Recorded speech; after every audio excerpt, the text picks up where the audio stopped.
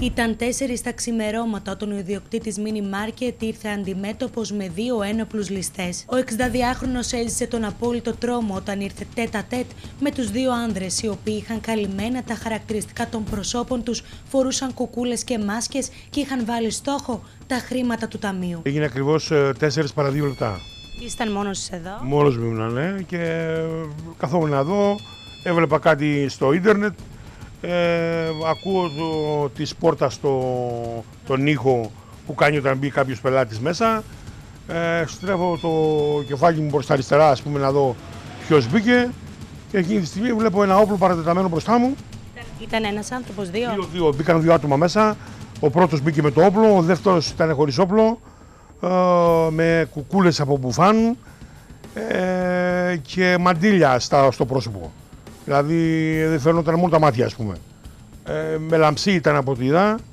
Ε, ήταν ε, με σπαστά ελληνικά, όχι με καθαρά ελληνικά. Οι ενοπλιλιστές μπαίνουν στο κατάστημα επί της οδού ΕΟΚ.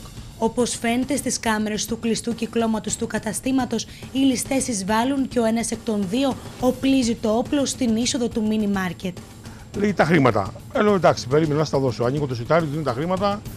Ε, μου λέει κι άλλα, κι άλλα. Πόσα ήταν; Ε, ήταν περίπου από 270 μέχρι 300-320, ακριβώς δεν θυμάμαι τώρα ακριβώς πόσα ήταν, δεν τα είχαμε μετρήσει ας πούμε. Δεν μου λέει κι άλλα δώσε μου, λέω, αλλά δεν έχω. Με την απειλή του όπλου ζητούν από τον έντρομο ιδιοκτήτη τα χρήματα του ταμείου. Σοκαρισμένος και μη μπορώντας να κάνει αλλιώς, ο 62χρονος τους έδωσε ότι χρήματα είχε στο ταμείο του. Όπως περιγράφει ο ιδιοκτήτης στην κάμερα της Κρήτη TV, οι δράστες δεν έμειναν ικανοποιημένοι με το ποσό που υπήρχε στο ταμείο και του ζήτησαν και άλλα χρήματα ή να βγάλει τη χρυσή αλυσίδα που φορούσε στο λαιμό του. Αυτός που είχε το όπλο παρατεταμένο, παρατεταμένο λέει στον ένα άλλο που ήταν δίπλα μου και μου σπούγε το χέρι ότι την αλυσίδα, την αλυσίδα. Είχαμε αλυσίδα στο λαιμό και προφανώς φαινόταν την αλυσίδα.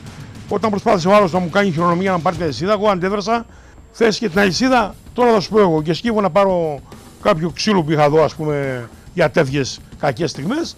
Έχει εκείνη τη στιγμή αυτή ίσως πανικοβηθήκανε και τα μαζέψαν και φύγανε, ας πούμε.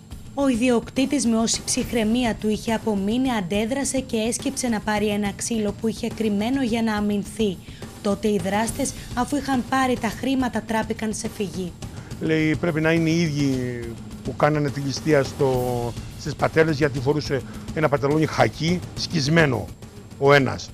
Και προφανώς ε, να είχαν δει και άλλο λογικό από άλλες κάμερες ε, για την άλλη περίπτωση ας πούμε και το, το συνδυάσανε, έτσι πιστεύω. Σύμφωνα με τη συγκλονιστική μαρτυρία του ιδιοκτήτη, οι δράστες μετά που άρπαξαν τα χρήματα φαίνεται να έφυγαν πεζοί από την οδό ΕΟΚ. Άμεσα ενημερώθηκε η αστυνομία και από εκείνη την ώρα έχει ξεκινήσει ανθρωποκυνηγητό προκειμένου να εντοπιστούν οι άγνωστοι άνδρες.